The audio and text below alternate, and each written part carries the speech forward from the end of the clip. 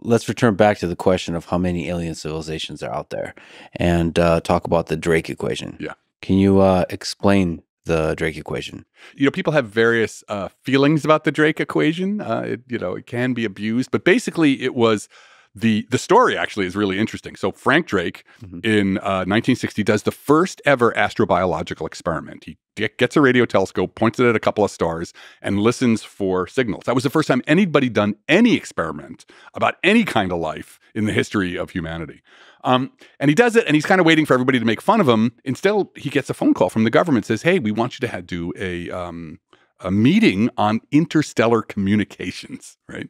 So he's like, "Okay." So they organize a meeting with like just eight people. A young Carl Sagan is going to be there as well.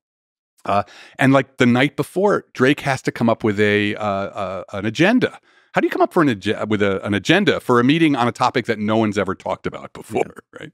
And so he actually write, he breaks what he does. What's so brilliant about the Drake equation is he breaks the problem of how many civilizations are there out there into a bunch of sub problems, right? And he breaks it into seven sub problems. Each one of them is a factor in an equation that, when you multiply them all together, you get the number of civilizations out there that we could communicate with. So the first term is the rate at which stars form. The second term is the fraction of those stars that have planets, F sub p. The next term is the number of planets in the habitable zone, the place where we think life could form. Uh, the next term after that is the fraction of those planets where actually an abiogenesis event, life forms, occurs. The next one is the fraction of planets on which you start to get intelligence. After that, it's the fraction of planets where that intelligence goes on to create a civilization. And then finally, the last term, which is the one that we really care about, is the lifetime. How long you have a civilization, now how long does it last? Well, you say we we humans? we humans, right? Because we're standing, we're staring at the, you know, multiple guns pointing at Yeah. us. You know, nuclear war, climate change, AI. Um, so, you know, how long on in general does civilizations last? Now, each one of these terms, what was brilliant about what he did was what he was doing was he was quantifying our ignorance, right? By breaking the problem up into these seven sub problems, he gave astronomers something to do. Right. And so, you know, this is always with a new research field. You need a research program, or else you just have a bunch of vague questions. You don't even know really what you're trying to do. Um, so, you know, the star people could figure out how many stars were forming per year. The the people who were interested in planets could go out and find techniques to discover planets, uh, et cetera, et cetera. I mean, these are their own fields.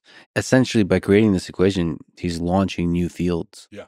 That's exactly. He gave uh, astrobiology, which wasn't even a term then, a roadmap. Mhm. Like, okay, you guys go do this, you go do that, you go do that, and it had such far-reaching effect on astrobiology because it did break the problem up in a way that gave useful, uh, uh, uh, you know, sort of marching orders Mhm. for all these different groups. Like, for example, it's because of the Drake equation, in some sense, that um, people who were involved in SETI pushed NASA to develop the technologies for planet hunting. There was this amazing meeting in 1978, 19, two meetings, 1978 and 1979, that were driven in some part by the people who were involved in SETI getting NASA together to say, look, okay, look, how, you know, what's what's the roadmap for us to develop technologies to find find planets? So um, yeah, so you know, the Drake equation is absolutely uh, uh, uh, foundational for astrobiology, but we should remember that it's not a law of nature, right? It's not something that's it's not equals mc squared, and so you can see it being abused